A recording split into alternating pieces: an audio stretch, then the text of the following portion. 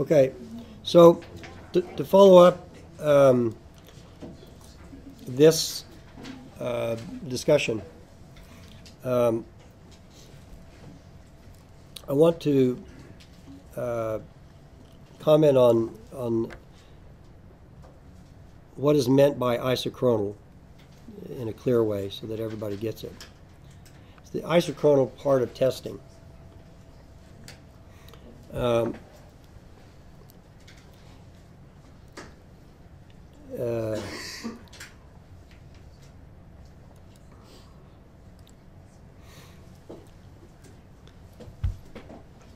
what's really meant by that is that you want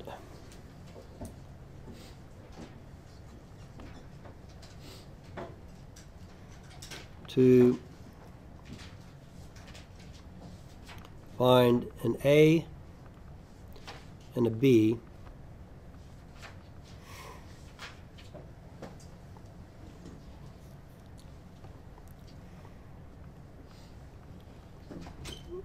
should be the same for all rates in the multi-rate test. Okay?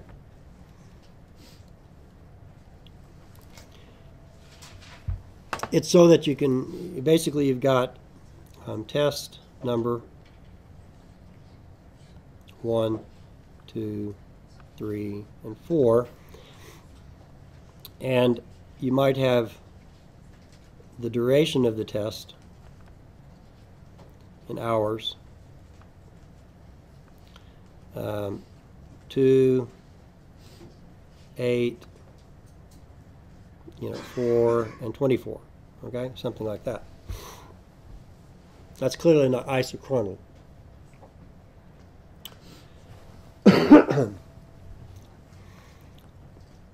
So, in order to satisfy this, the A and B, it should be the same for each rate. You've got your rates here. Q1, Q2, Q3, and Q4. And you also have a flowing bottom pressure, PWF1, PWF2, PWF3, and PWF4. I'm going to talk about the standard isochronal test. The standard isochronal test, the only requirement is that between each flow rate there's a shut-in. Okay? That's the requirement. In the standard, there's a shut-in between each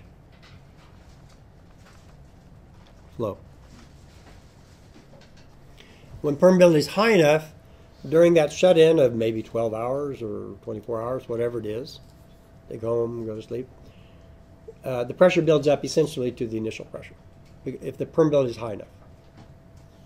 Okay?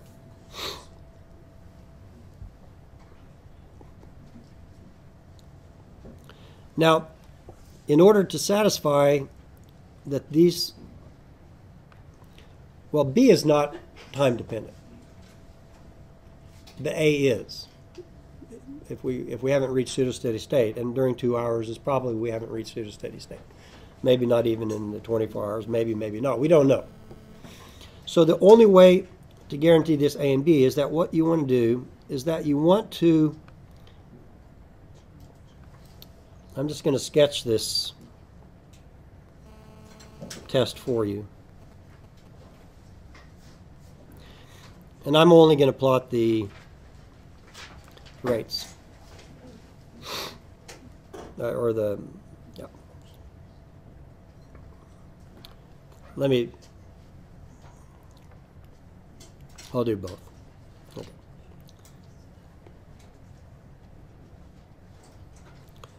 That was two hours. This 24 is going to be a little bit hard to pick up. 24.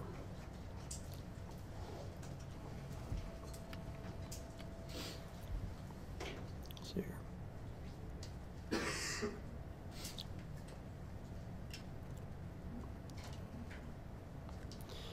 Okay, so this, I'm gonna say this is two hour intervals. Okay, I'll try to make this plot right.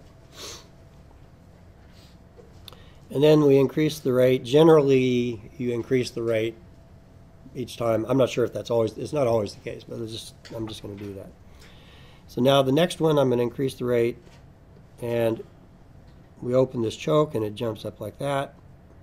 And then it goes for eight hours. Two, four, six, eight. Okay. So now that's it. Total of 10 hours. And then I increase the rate again. Over four hours. It goes something like that. So now I'm at 14 hours. And then we run this long, I'm going to make it 12 hours, 12 instead of 24, just to make it easier.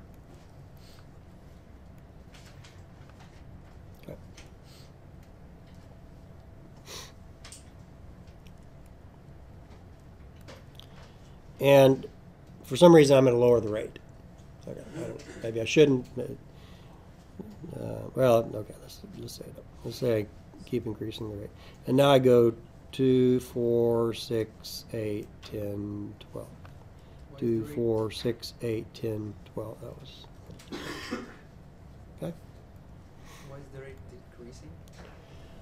Because what you do is you change the choke.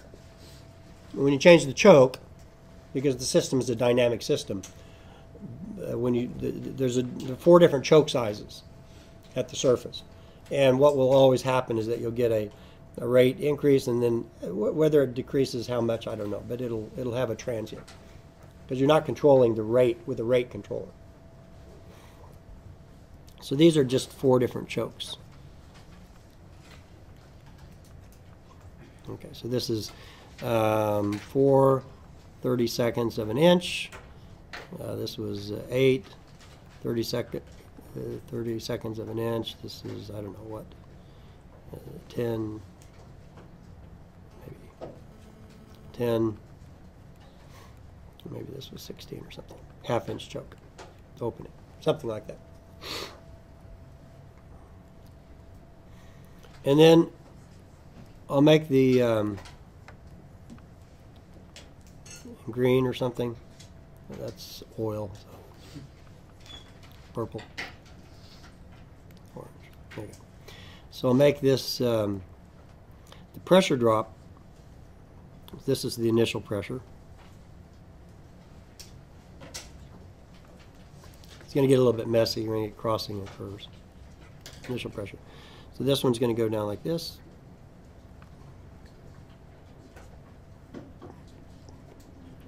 The bigger rate, we're going to get a bigger pressure drop. Like that. Bigger rate again. Bigger pressure drop. And then a bigger rate again. Like that. Okay. That practically is what it's going to look like in real life. It's going to be a transient, each one. So, what's meant by um, isochronal, it all you have to do to make it an isochronal test analysis is that you you pick the rate and pressure at the same amount of time. Okay. I've, I've, I've screwed this up. This I'm just gonna give me a second. In between here, there's a shut-in. Okay, between each, I, I, I didn't put it there because then I'm going to be off the chart. Okay, but in between here, there's a shut-in long enough to bring this.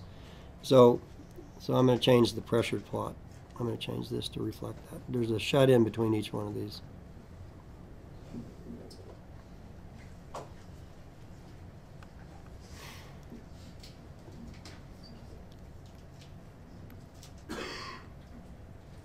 Okay. So during the shut-in, the pressure builds up basically back up to here. 24 hour shut-in, something like that. So that this next is going to go down like that. Okay? And then there's another shut-in here. That's by definition the isochronal test. So that when we start drawing down again, it's basically drawing down. Oops, let's see here. We got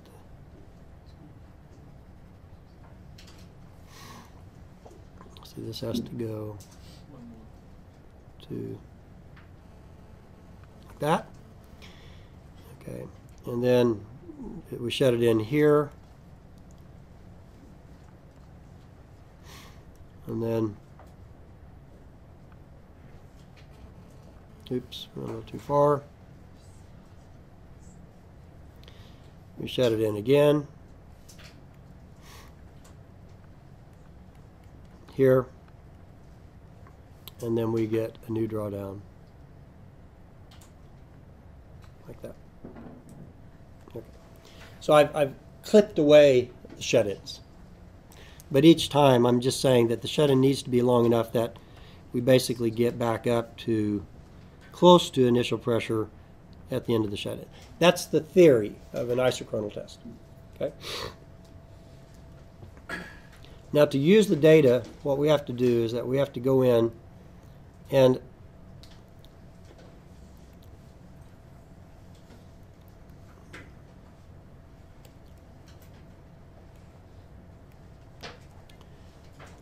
choose the data, rate, and PWF at the same period of production. What that would mean, for example, in this case, would be, for example, at two hours. Because every one of the flow tests has data at two hours, right? But the first rate doesn't have data at eight hours, but it has it at one hour and at two hours. So I could take, I say two hours, I could use one hour. I could use 10 minutes.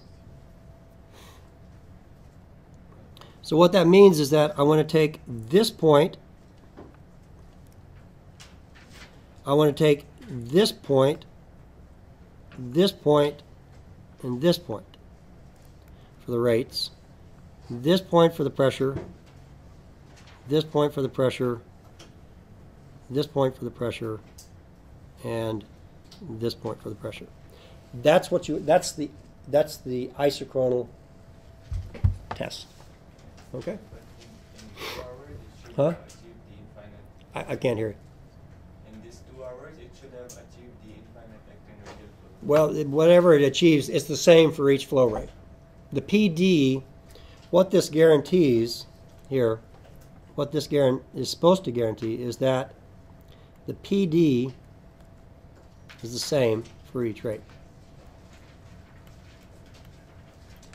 Because PD is not a function of rate, right? PD is not a function of rate. It's only a function of time.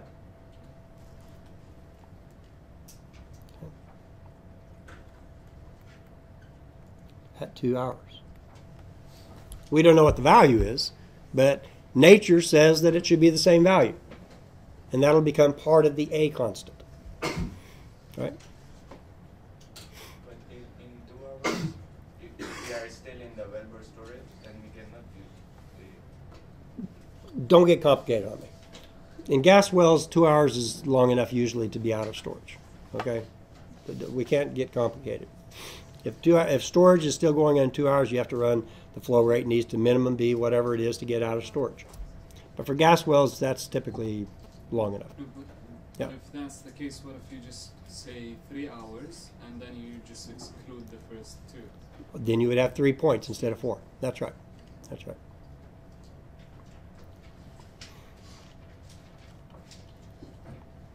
And then the point is that when you do that,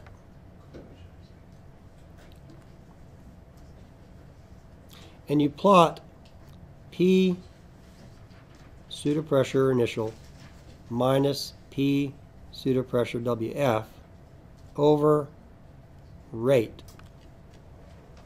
Okay? For each of the tests, however many tests you have, each point.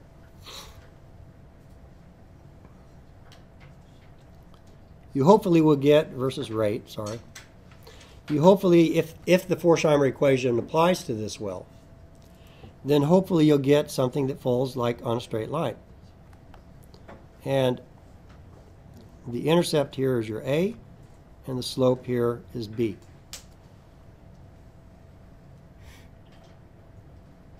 This is for two hours.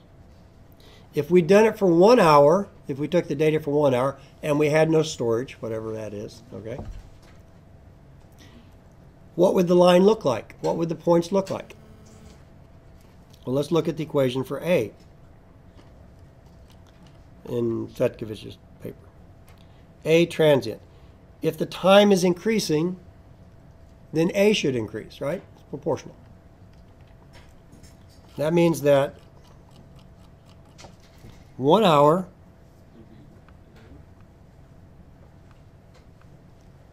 No, I'm sorry. A, PD is less for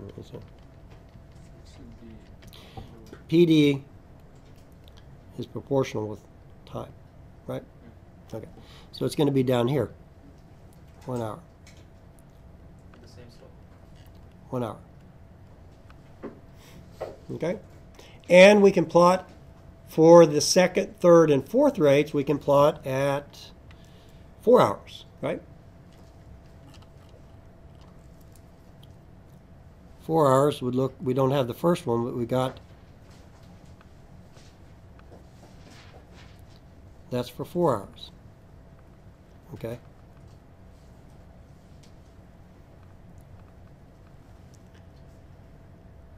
Okay?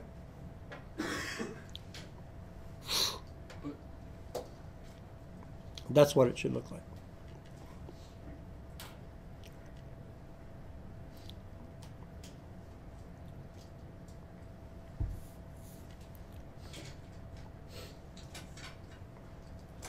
The slope B should be the same, irregardless.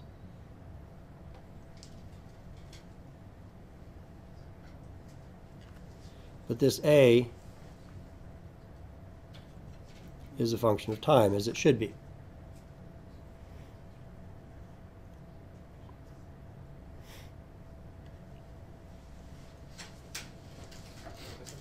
Yeah. If we are getting different slopes for one hour, two hour, and four hour, is it better to take the four hour?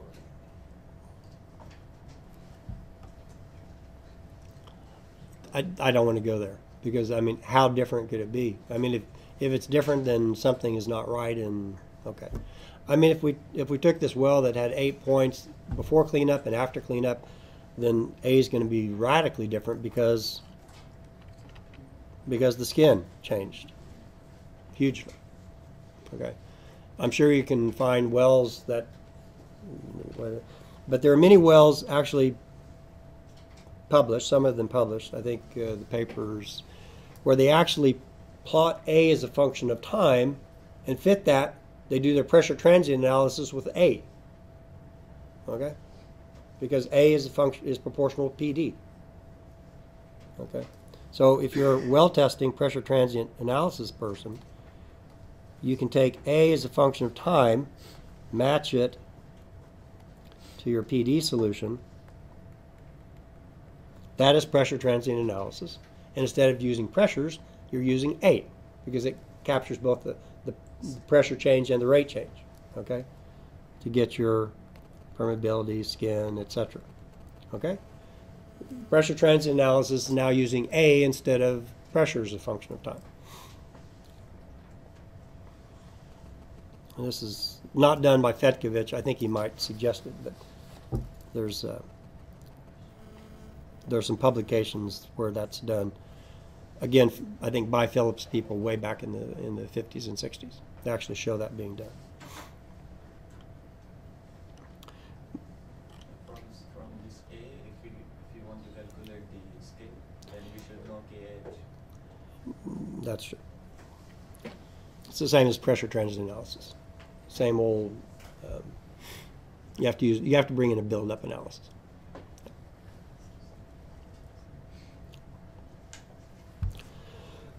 this is only drawdown analysis. To get the skin, you always have to bring in a build-up analysis to get rid of the skin. That's always the case. You guys should have learned that last semester. Okay. Okay. So that's what's meant by isochronal. The, the, the traditional isochronal is that you have shut in between each flow rate, and that's basically to bring the system back to the initial conditions, close. Okay? And then the second thing is that the isochronal part is not that the test duration has to be the same period, but the data you pick from the test, each test, needs to be the same duration. And that's so that we get the same PD, so that we have the same A, so we can interpret it.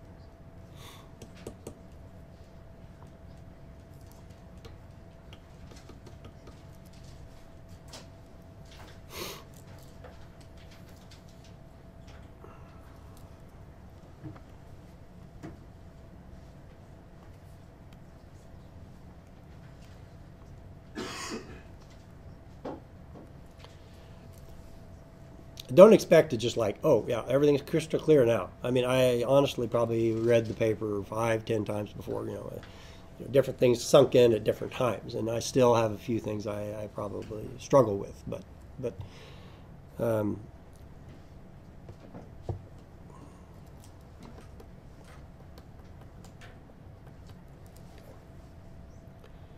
okay, so so that's.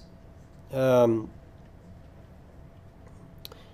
Okay, so that's one of the things that, again, he gives the equations, he, he, he talks about this, but um, when he uses the average, he's talking about the A that's invariant of time because now the time, the, the, the, the, the thing that's changing in time here is the average pressure.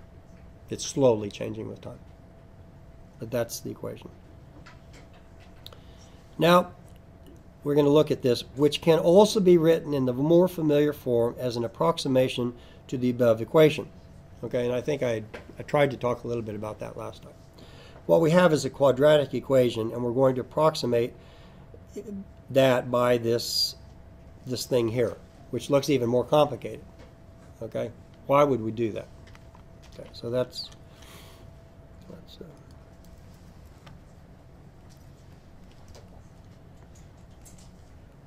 approximating the quadratic Forchheimer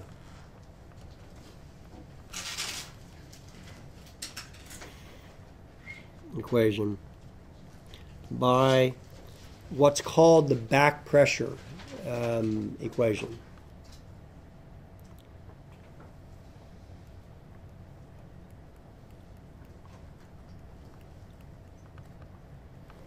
And this is the back pressure, the, what I call the, the reservoir back pressure. I think he has a different term for it. It's, um, um, yeah, reservoir and surface. Yeah, so it, he uses the same thing.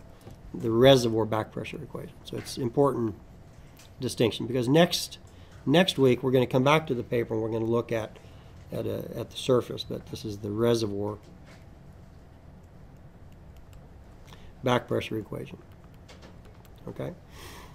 Which is written this way constant pseudopressure volumetric average minus pseudopressure bottom of flowing pressure to the power n. Okay? So it has two constants, just like the quadratic does.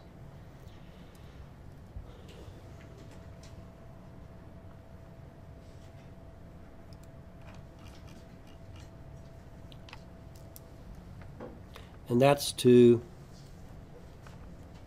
approximate this.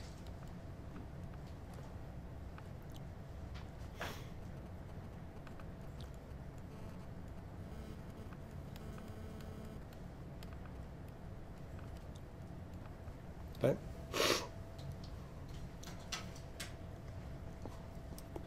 What we're saying is this is right and this is approximate. okay.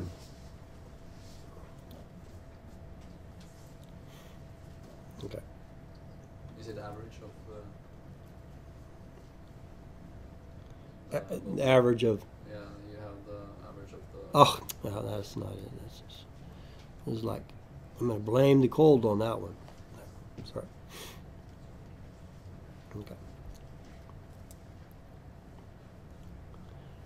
in today's world, we say, why the hell would you simplify a quadratic equation, which is as simple as you can get, with something that looks even more uh, or complicated? Okay, why would you do that? We did it because this is what's being used from the 40s, the 50s, 60s, and into the 70s when we didn't have Excel. We didn't have, okay, we use graphical plotting, and the reason is because we use graphical um, log log plotting.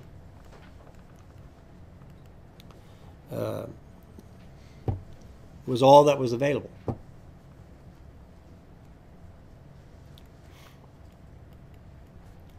Not Excel.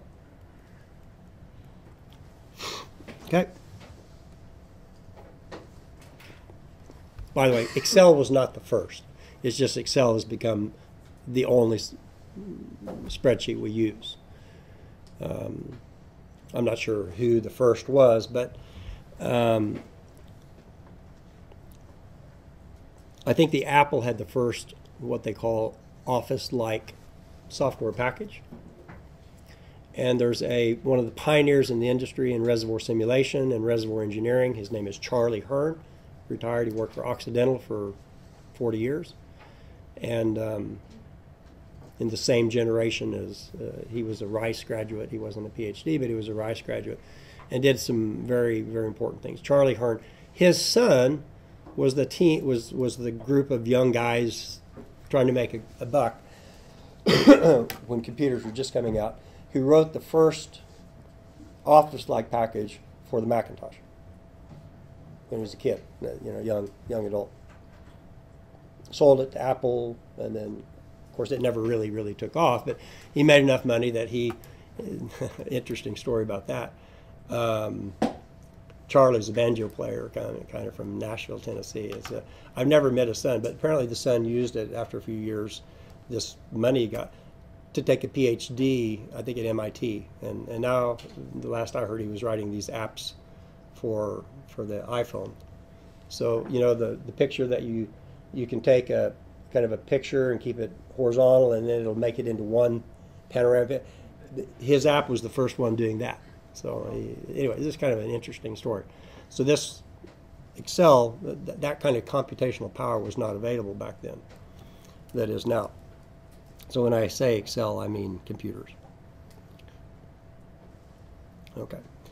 And so on this log log paper, which was available on everybody's desk, all every engineering's desk, we plotted gas rate um, in, I'll use Fetkovich's thousand standard cubic feet per day because you can multiply that by a few dollars and get the, the value. So we might be down here at a hundred thousand. You're getting into wells like are making you a bunch of money. Ten thousand. Now you're in the North Sea like area. And today we actually in North Sea and places like Australia and other parts of the world. Um, I think the North Field, pretty much all the wells are on about 75 million per day for 10, 20, however many years they, they'll last. Um, so we're getting into the range of really large wells. And then we plot that versus, generally they used average reservoir pressure squared minus, because, because in the old days, pressure squared could be used. But if we do it kind of more properly, then we can do it this way. So the pressure drop would be done like this. And this would have, a, a, again, a log scale. uh, Big numbers, I don't know, 10 to the 6th, I don't know. 10 to the 7th. Should be the same size axis here, so I'm going to try to do that. This is 1, 2, 3, 4. Well, this is really terrible. Um,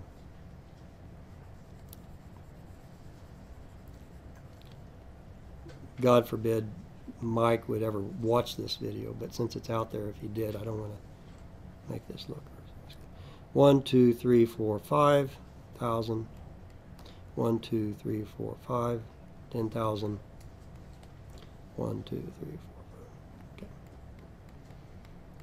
And then ten to the seventh. One, two, three, four, five. Ten to the sixth. One, two, three, four, five. Something like that. Okay. And we've already talked about this a little bit. So if we go in and, and you could just make these plots like this.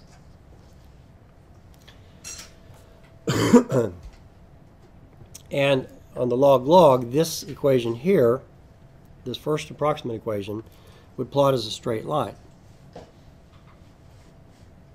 Okay.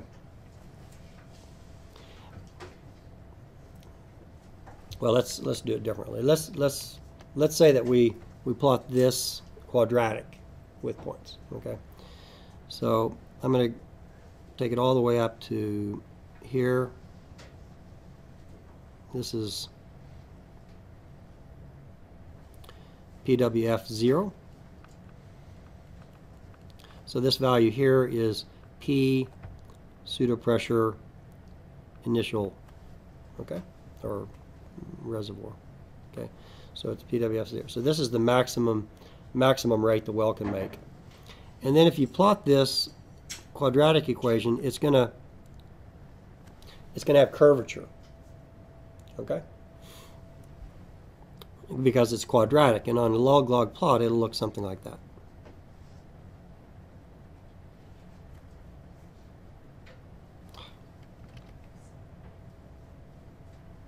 Okay. Okay, depending on the A and the B. It'll, it, it'll be curved, something like that. But what you'll find is that in the range of, of real interest, this is, you know, we're, we're really making money, you know, certainly up in the higher rates. And certainly for the initial test, you can get a, a reasonable approximation. Let's put that in, in purple or something, crosses. If we had our initial test were up in here, this plots more or less as a straight line.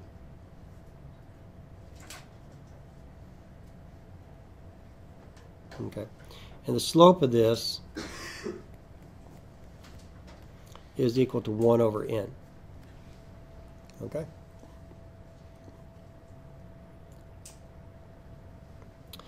And so in this initial range where we're making all our money, I mean the, the, the one or two orders of magnitude of rate that we produce and really make money. So if n, I'm just going to call it where it's a straight line, in this relevant, the relevant n, um, if it's approximately 1, okay, then that's basically saying that b is like, the, the bq squared term is not important, okay? So basically, B is it doesn't have any effect. There's no non-Darcy effect. There's no turbulence like flow. Okay. If n is about 0.5 or very low, then effectively B is the dominant. So A is effectively not contributing. In other words, the Darcy component to pressure drop is overshadowed by the pressure drop due to the second term. And Fetkovich calls this laminar. Shame on you, says Abbas Firoozabadi. Okay, laminar. And he calls this turbulent. Dominated. Laminar dominated and turbulent dominated. But in general, what we see is that n lies somewhere between 1 and 0.5 for different, different wells. Okay?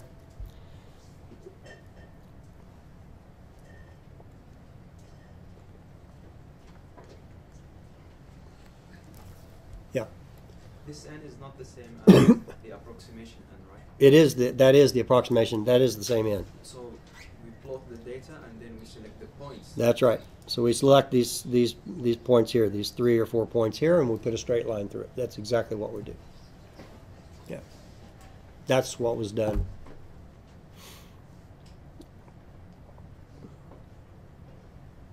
Uh,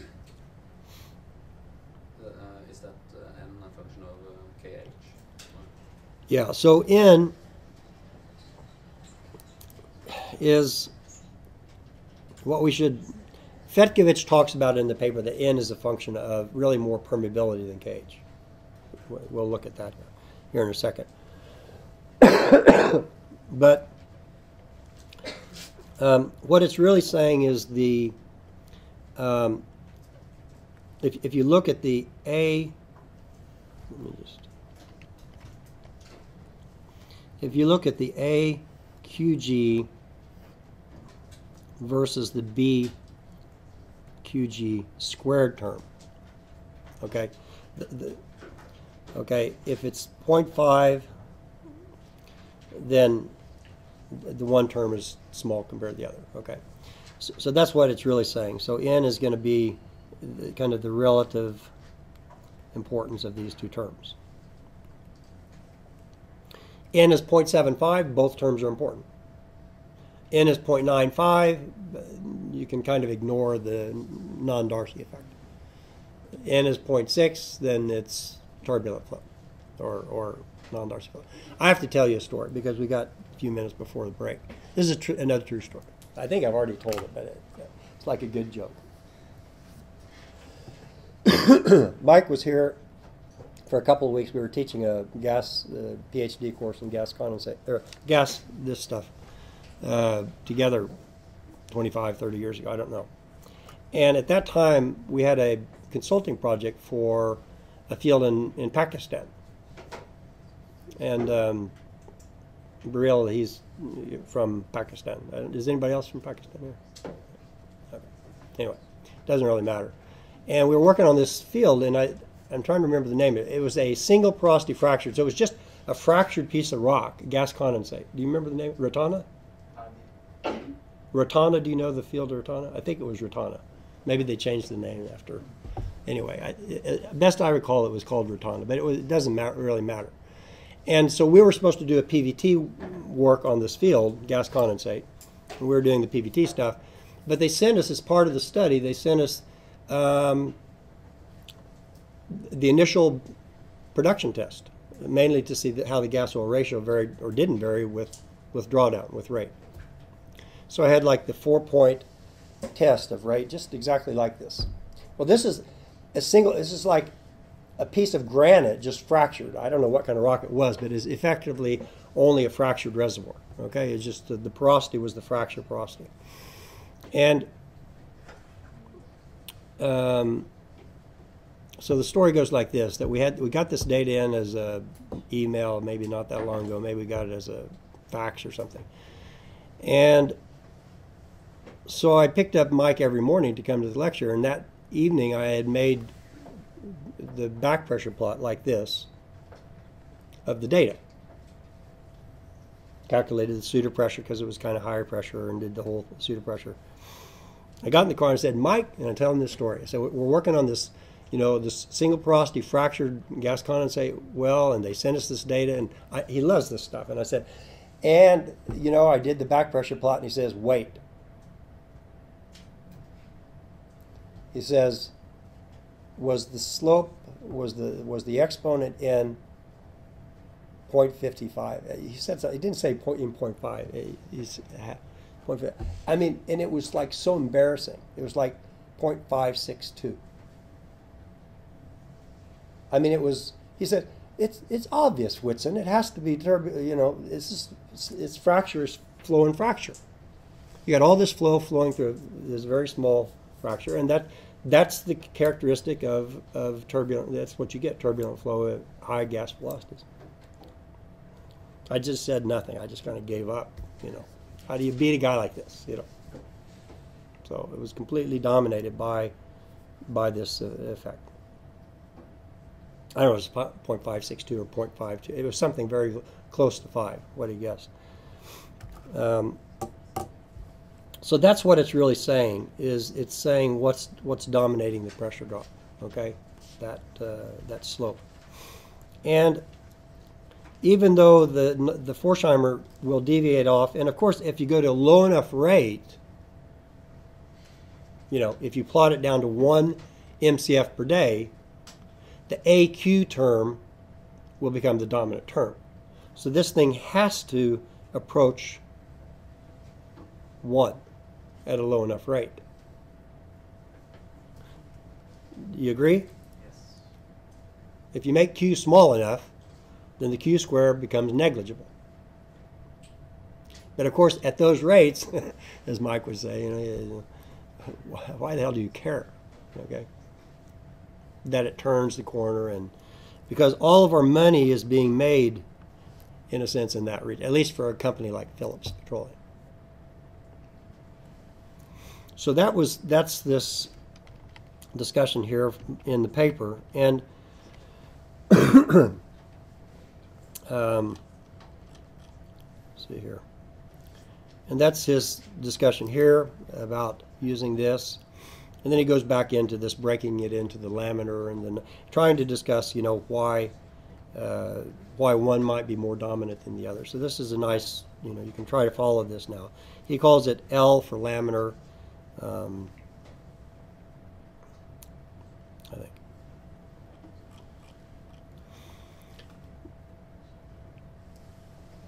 So let's just read before we break. It says a plot of this that we just looked at of the back pressure test data will readily yield A from the intercept and B from the slope.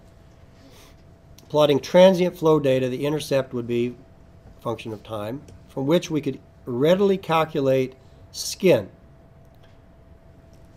He implicitly says you have to bring in build-up data to do that. Okay? He, he, doesn't say it in words. But if you go to the back of the paper where he actually does the skin calculation for this well,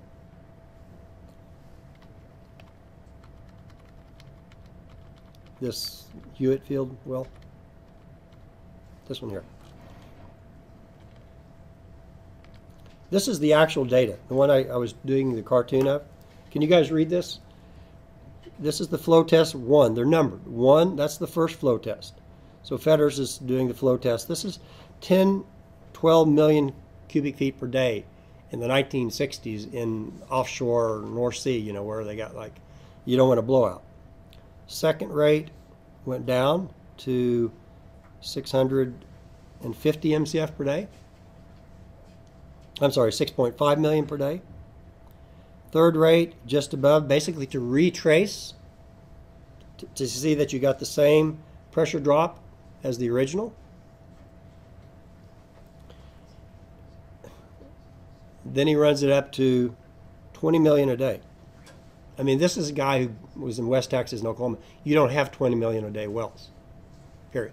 So this was exciting, and this guy got a thrill out of this. This was like off-pist petroleum engineering. Okay, he runs the four. That deviation that you're seeing right there with your eyes, that's what got this guy a vice president salary for a while. Okay, what made Phillips Petroleum Company a lot of money because there was allocation going on based on this test made him a lot of money. And that's when he called in to the boss. The boss says, don't run it up to higher rate. He ignored the boss and he went to rate 5. How many uh, is, is 10, 20, 30, 40, 50, 60, 70? Now this is off piss. This is like going to the, I mean, this is like crazy. 70 million a day. And then shows this shift here, 0.5. Goes back down, to where you were there. Why did he do that? Was this just a fluke? Was it the gauge pressure gauges stopped working? Went back down here to see would it jump back on that curve there. No, it didn't. It was creating a new curve. More or less the same slope, a little bit different. Traces it, 0.6, 0.7. Now, I would have liked to heard the conversation going on between him and the boss because, you know, the, the boss would understand how important it was getting this much better back pressure curve for Phillips. He knew he knew the value of it. So had he run it to 70 million and it stayed on this curve here, he'd probably have fired. That's what I suspect. Probably should have got fired, but he didn't. So this is actually the, that that test data, and in the and in this same paper, he does the calculations. We were talking about the skin thing there. He does the calculations of skin for this test somewhere up here. Here.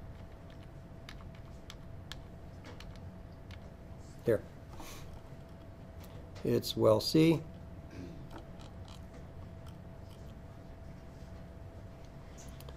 And he's doing the calculations, and you have to have from well C, see, from buildup. That's what you're asking. You have to have the KH from the buildup. Not magic, but it's like what you guys know from pressure transient analysis. Once you got the KH independently from the buildup, then you can go and get the skin. All right, so that's, we'll take a break.